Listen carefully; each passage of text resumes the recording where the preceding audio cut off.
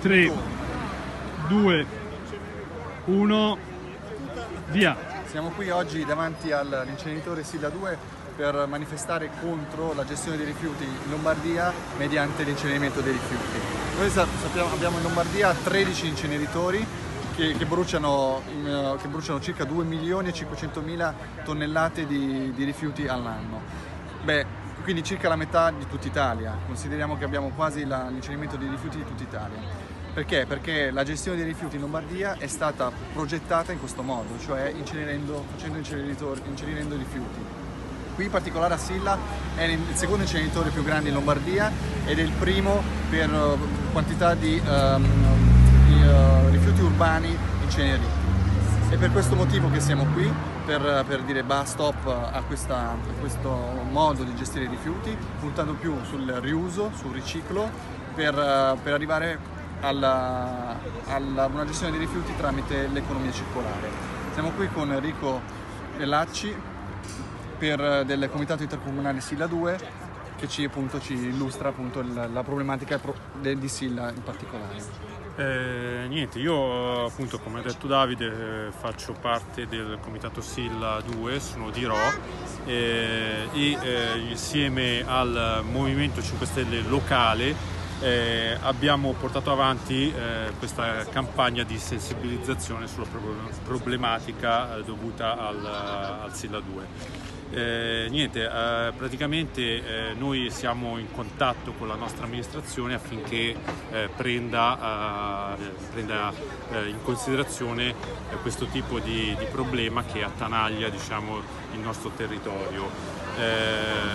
diciamo che ehm, la nostra amministrazione diciamo, è, è, si dice a parole sensibile al, al problema dei rifiuti e, e diciamo che eh, per quanto riguarda la mm, percentuale di raccolta differenziata ha anche una buona percentuale, questo bisogna riconoscerlo.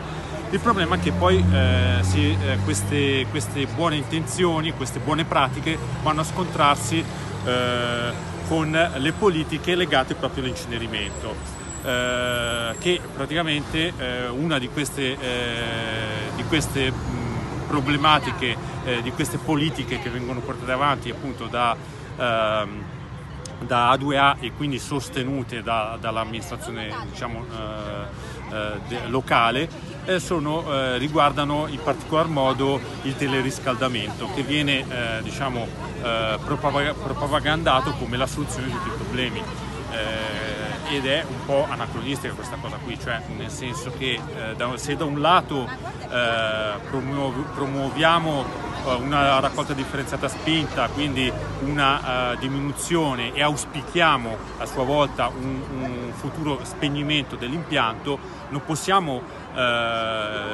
avvalorare invece una tecnica che uh, è destinata a perdurare nel tempo e che è comunque legata all'incenerimento dei rifiuti e quindi a tutte le attività del SIL. E questo insomma noi ci stiamo battendo a, a, per mettere in evidenza questa, diciamo, questa, questa uh, contraddizione che uh, è abbastanza evidente.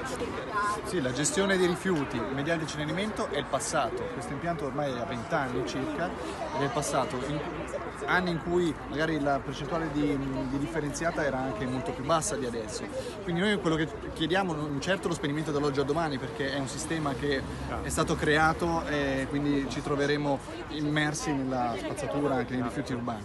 Però quello che vogliamo è un piano decennale, ventennale di spegnimento graduale di questi impianti a, a favore di un'economia circolare basata sul riuso e riciclo dei rifiuti urbani.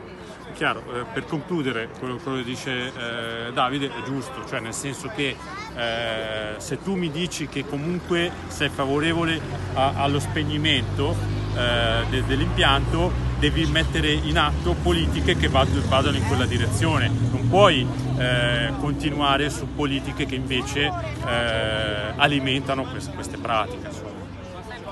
Grazie, grazie a tutti. Ciao. Ciao, a presto. Ciao.